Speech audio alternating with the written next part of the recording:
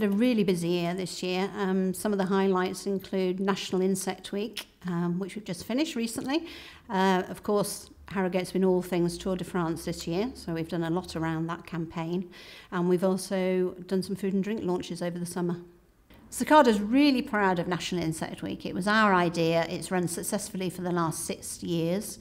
Our relationship with the, the Prince of Wales's press office was key to the success of the event, and we generated a million pounds worth of coverage.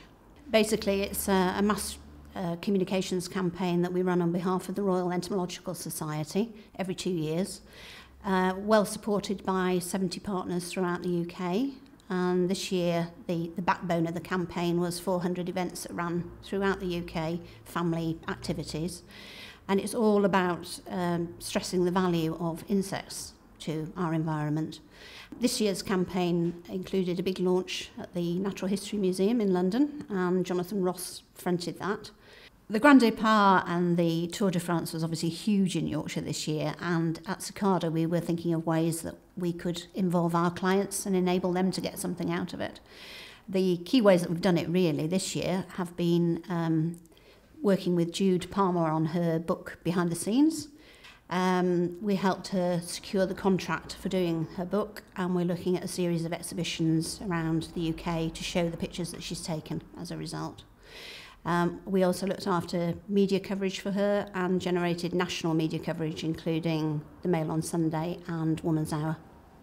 We also worked with our client Carter Jonas on their Pedalthon event, which basically was a corporate ride to raise funds for the Yorkshire Air Ambulance and Sustrans charities. And 300 riders set out in the rain in May um, and returned absolutely drenched, but having quite enjoyed the whole ride around the Yorkshire Dales. They raised £15,000 for charity and um, through our media partnership with the Yorkshire Post for the ride, we, we raised uh, about £82,000 worth of coverage for our client.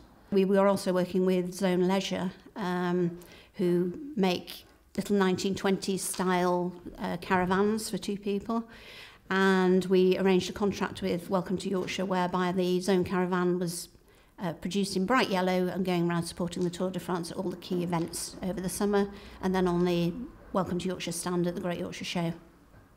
Cicada gave its clients a unique take on how they could um, maximise coverage from the Tour de France. It was a, everybody wanted to get something out of it, and we were trying to think of something a little bit different.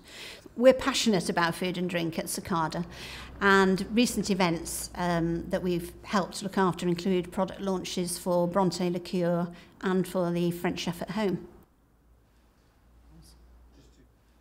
We've been handling media relations for Bronte Liqueur and we've already generated significant media coverage for that and we'll be having a consumer launch as well so it's a bit of an ongoing project.